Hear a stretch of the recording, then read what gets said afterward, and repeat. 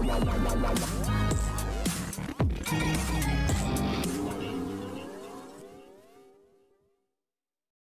TV serial गुम है किसी के प्यार में एक तरफ़ तो विराट चल रहा है बहुत ही ज़्यादा मुश्किल सफ़र पर, जहाँ पर वो कमल को बचा कर के, साई को बचा कर के ले आएगा जगताप के चंगल से। तो दूसरी तरफ़ पाखी होगी अपने सुहागरात के कश्मकश में, जहाँ पर वो एक तरफ़ देखेगी सम्राट की फ़ोटो अपने बेडरूम में और दूसरी तरफ़ उसे आएगी अपने एक्स बॉयफ्रेंड अपने लवर विराट की याद। इसीलिए वो विराट को अपनी सुहागरात से पहले करेगी कॉल। और फ़ोन पर विराट इतनी लेट पाखी का कॉल देखकर काफ़ी ज़्यादा शॉक रह जाएगा और वो फ़ोन ऑन करते ही पूछेगा, पाखी, क्या हुआ? इस वक्त तुमने कॉल किया? तो यहाँ पर पत्रलेखा अपने दिल का हाल बयां करती आएगी विराट के सामने नज़र। वो विराट से कहेगी उसे मिस करने की बात, जो और विराट पाखी को समझाते हुए कहेगा, पाखी, वक्त के साथ सब कुछ ठीक हो जाएगा। सम्राट में तुम्हें एक हस्बैंड एक लवर एक अच्छा लाइफ पार्टनर के साथ साथ एक बेस्ट फ्रेंड भी मिलेगा।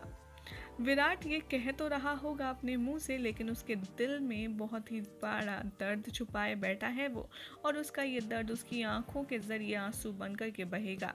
लेकिन बात करते करते वो सम्राट और पाकि का रिश्ता सुधारने की कोशिश करेगा और कहेगा पाकि सम्राट इज़ रियली नाइस गाय अगर तुम्हें उससे प्यार ना हो जाए तो फिर कहना यहाँ पर पाखी सम्राट को बहुत ज़्यादा मिस करती है और उससे प्यार का नाम सुनते ही कहती है कि विराट, प्यार ज़िंदगी में सिर्फ़ एक बार होता है।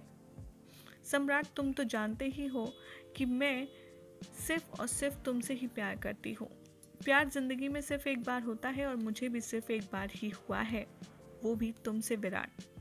दिल कर रहा है। मैं ज़ोर ज़ोर से चीखूं, चिल्लाऊं और सबको कह दूँ कि आई लव विराट।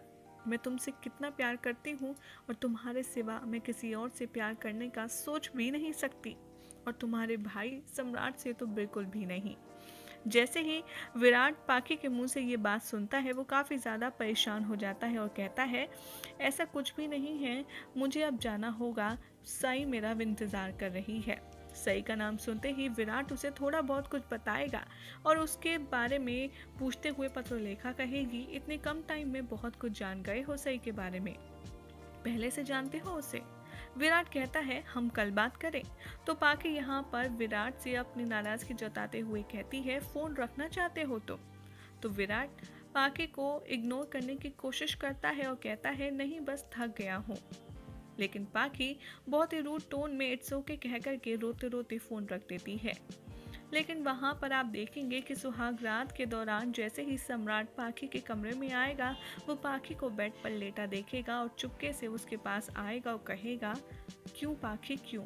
तुमने और विराट ने मेरे साथ ऐसा क्यों किया क्यों दिया? तुम दोनों ने मिलकर मुझे इतना बड़ा धोखा जैसे ही सम्राट की जुबानी विराट का नाम और उसका नाम एक साथ सुनती है पाखी वो बहुत ज़्यादा शॉक्ड हो जाती है और सोचती है कि आखिर सम्राट को विराट और उसके रिश्ते का सच कैसे पता चल गया। लेकिन यहाँ तो कहानी में ट्विस्ट ये है कि सम्राट ने पाखी की फ़ोन की बात, उसके पीछे खड़े होकर के सब सुन ली है, जिसके बाद सम्राट का हुआ है बहुत ही बुरा हाल।